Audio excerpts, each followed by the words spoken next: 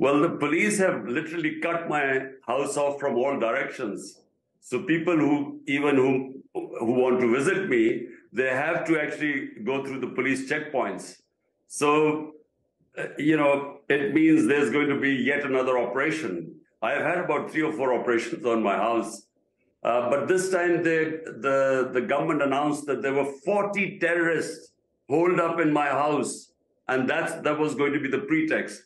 I mean, they are, they are, by terrorists, I suppose, they mean the, the violence that was sparked after your last arrest. I mean, just to clear this up, I mean, did, did anybody in your organization have any role in organizing that, in orchestrating that? Did they know it was happening? Did they take part in it? What were the events? I'm picked up, my people are beaten up, I get hit on my head by the uh, military, what are the rangers belong to the military, inside the High Court of Islamabad. But in 27 years of my party's existence, we have never indulged in violent protests. Seven and a half thousand people have been arrested in my party. All the senior leadership has been arrested. You know, uh, it's the most unprecedented crackdown going on. But, the, uh, but you know the history of Pakistan since its inception has been of the army stepping in against democratically elected leaders at different times. I mean, can Pakistan ever break this cycle of an army that always moves when it's not happy with what's going on? Look, you know, we we started off as a security state. There was this dependence on the Pakistan army.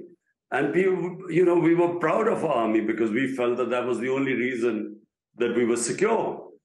But unfortunately, things change, time evolves.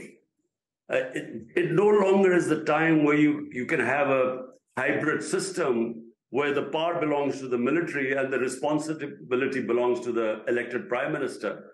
This sort of hy- hybrid system just cannot deliver. So we are a big governance disaster. Too many Pakistani leaders have been killed in political violence. Do you now fear for your life? Uh, I've had two attempts on my life. Uh, the reason why my life is in danger is because uh, all the 20, uh, 12 parties coalition, the lead, our lead between them and us is, has grown so wide now. Uh, uh, since we were ousted from power in the last few months, out of the 37 by elections, we have swept 30 of them. They do not want to see me in power. And, and therefore, uh, either they will, uh, you know, the thing is either to remove me through getting me in, put me in jail, disqualify me, or have me killed. You've spent 30 years pledging to rid Pakistan of corruption. Have you failed ultimately? No, well, 27 years I started my movement, which was for rule of law, basically. When you don't have rule of law, you have corruption. Reason why the developing world is, is poor, because they don't have rule of law. The powerful are above law. And when you look back at your time in power, do you think there is more that you could or should have done to take on these powerful forces within the country?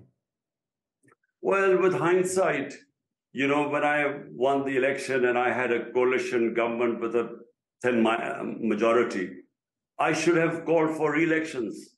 I should not have, uh, uh, you know, taken on that government because, look, if you want to bring about a change and reform and take on the vested interest, which means bring the powerful under the rule of law, answer is if you want to bring about a change and rule of law in a country, you must have a clear mandate from the people so that that, that gives you the, the power to make the reforms. Imran Khan, thank you very much indeed.